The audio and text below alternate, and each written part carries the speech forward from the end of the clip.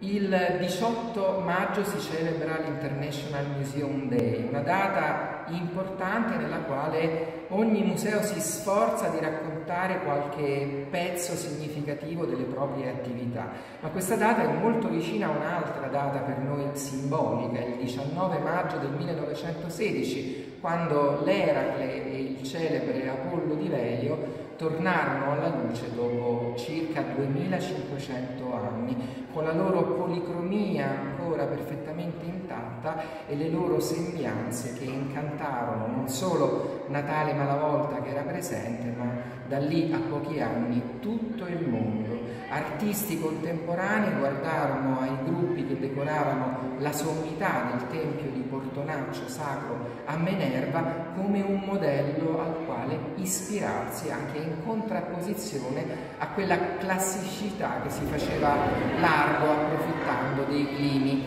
nazionalistici.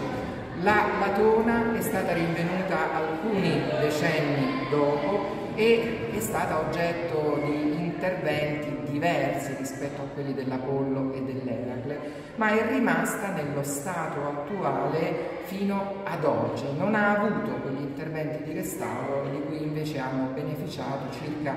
15 anni fa l'Apollo e l'Eracle ad opera di Sant'Eguido. Grazie ad un importante e generoso finanziamento dello studio legale Carbonetti siamo finalmente in grado di far partire un cantiere che volevamo partisse fin dal primo giorno del mio insediamento qui a Villa Giulia. Si potrà finalmente allineare il restauro della Latona a quello degli altri gruppi di Portonaggio. Si potranno risolvere alcuni problemi dei precedenti restauri, un collo troppo lungo, il mento poco in linea con i canoni dell'arte ionica di questo periodo. E si potrà anche migliorare la qualità della policromia di quest'opera che ci racconta la prima impresa del piccolissimo Apollo che si vede in braccio alla madre Latona, si vedono solo le gambe ed è intento a colpire con le sue frecce fatate il serpente pitone per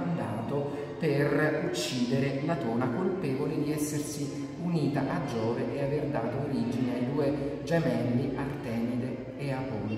Si tratta di un capolavoro dell'arte etrusca 520-510, opera di un maestro che poco dopo averla realizzata contemporaneamente viene chiamato con la sua bottega a Roma da Tarquinio il Superbo per realizzare la decorazione del più grande tempio di Roma ma anche dell'Occidente, il tempio della Triade Capitolina sul Campidoglio, dove le fonti ci dicono realizzerà una quadriga o forse due con un'arte che incantò i romani e continuerà ad incantarli anche nei secoli seguenti, quando si cercava di mantenere i templi più simili alle tecniche costruttive originali, quelle degli Etruschi, l'argilla, il legno, le materie più umili che hanno reso però grande l'arte degli Etruschi, anche se con maggior difficoltà sfida il tempo e le intemperie.